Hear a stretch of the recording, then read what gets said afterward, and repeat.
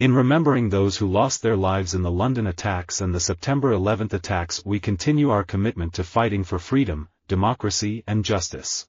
Initially, the horrific images of September 11 triggered an enormous wave of solidarity. Since the beginning of the Bush administration when we were attacked, September 11, we've not had any major terrorist attack in this country. We've had individual crazy people, of normally, they look more like me than they look like Middle Easterners. It is a very real concern and my view is that everything changed on September 11 and the procedure, the policies that were in place prior to September 11 no longer should apply. NSA is a very conservative culture legally. Our lawyers at NSA were notorious for their conservatism up through the morning of September 11, 2001. The single most consistent criticism of the NSA legal office by our Congressional Oversight Committee was that our legal office was too conservative. The tragedy of September 11 was so sudden, so enormous, and so horrendous, both in terms of lives lost and global consequences, that this country and the world went into immediate and prolonged shock. I was in New York City for September 11, and I was there for the 2003 blackout. I think in hindsight, you get a real perspective as to how unique those moments of crisis are in a place like New York City. I know exactly when my life changed, when I looked into the face of Tamerlan Tsarnaev. It was 2.48 p.m. On April 15, 2013, one minute before the most high-profile terrorist event on United States soil since September 11, and he was standing right beside me. The prompt assimilation of that intelligence will be essential if we are to avoid another September 11. Since September 11 Congress has created the Department of Homeland Security, more than doubled the Homeland Security budget and implemented a bipartisan overhaul of our intelligence systems. I don't believe that the Bush administration had something to do with September 11. I do believe that there were a lot of warning signals, but I don't think they were ignored on purpose, Bush just wanted to go to the ranch for a month. A lot of people were moved to right after September 11. It had to affect us all in a way. The country was not focused on terrorism before September 11. For me, there is nothing that encapsulates both our misguided response to the attacks of September 11 and the entire Iraq war itself more than a sense of lost opportunity. After the attacks on September 11, we all learned lessons. The terrorist attacks of September 11 and the courageous actions of our armed forces in Afghanistan and Iraq remind us that friends of tyranny and enemies of freedom still exist. Letting the September 11 Victim Compensation Fund close is not an option. The Republican effort to make the September 11 attack on Benghazi into a scandal is really about one thing and one thing only, Hillary Clinton. If September 11 has taught us anything, it's certainly that the world has never been so interdependent. It is impossible now to be an island of prosperity in a sea of despair. The September 11 tragedy forced us all to look at the world in a different way, and it reminds us all of the importance of living every moment. After the chaos and carnage of September 11, it is not enough to serve our enemies with legal papers. We must never allow September 11 to become a time for protest and division. Instead, this day must remain a time for promoting peace and mutual respect. But the point is to get a whole new generation of people and people in general more re-engaged in news, and this has happened a lot since September 11 of course. Legislation passed in the aftermath of September 11, 2001 enhanced our intelligence capabilities and strengthened our national defense. But until now our nation's immigration policies have not adapted to the needs of a post-September 11 world. I am certain that I speak on behalf of my entire nation when I say, September 11 we are all Americans, in grief, as in defiance.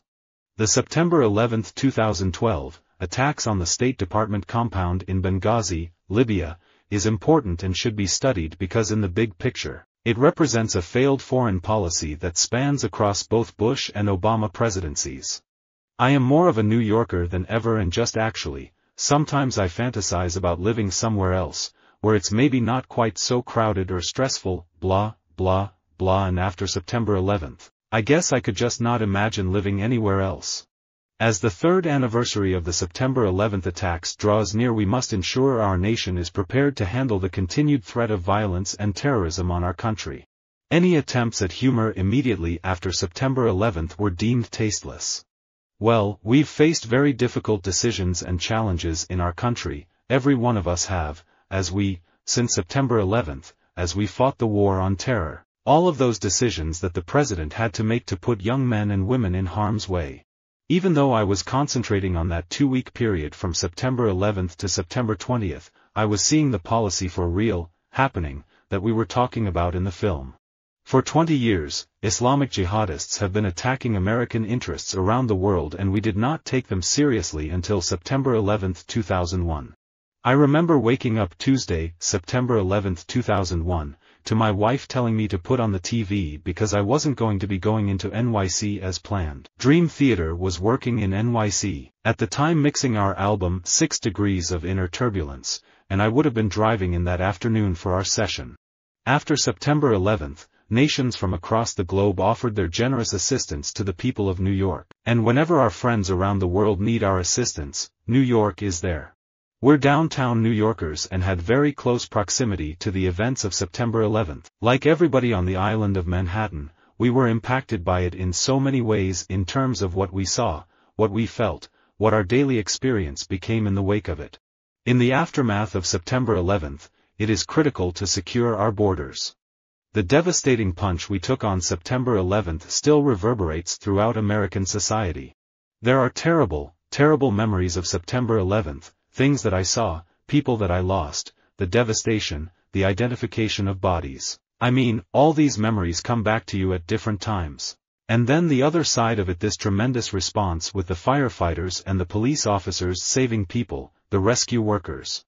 If, for a moment, it seemed that September 11th could be identified with Iraq, the illusion was short-lived. The first time I realized I was patriotic was after September 11th. In December of 2001, after September 11th, my wife, Jane Rosenthal, and Robert De Niro asked me if I would help them create the Tribeca Film Festival. The idea was to revitalize Lower Manhattan. We would show films on piers, in high schools. It was all about the community. We wanted it to be accessible to everybody. The whole world has changed after September 11th. September 11th was a moment when America had the sympathy of the world. We will always remember the victims of the horrific terror attacks of September 11, 2001.